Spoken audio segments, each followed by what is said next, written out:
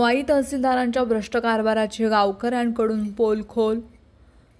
Blackstone केशरला परवानगी मिळवून देण्यासाठी अनेक शासकीय अटी शर्ती व नियमांची पायमल्ली झाल्याचा पुरावा हा कुसगाव व्याहळी एकसर या गावातील ग्रामस्थांनी पत्रकार परिषदेत सादर केल्यानं खळबळ ही उडाली आहे.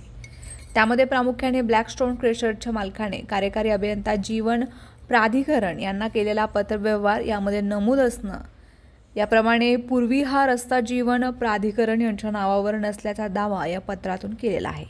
त्या दाव्यानुसार स्टोन क्रेशर मालकानेच पाठपुरावा करून तो रस्ता जीवन प्राधिकरण यांच्या नावावर केला आहे आणि जीवन प्राधिकरणाच्या या रस्त्यावरून गौण खनिज वाहतुकीची परवानगी ही मागण्यात आली आहे.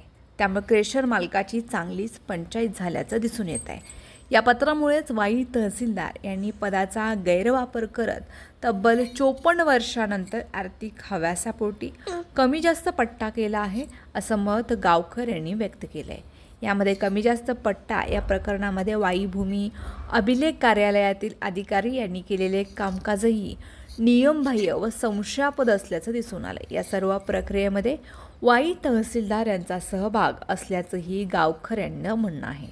त्यामुळे स्वतः क्रेशर मालकानं पत्रातून केलेल्या दाव्यामुळे महसूल विभागात असणाऱ्या अधिकाऱ्यांच्या अडचणीत वाढ होण्याची शक्यता आहे.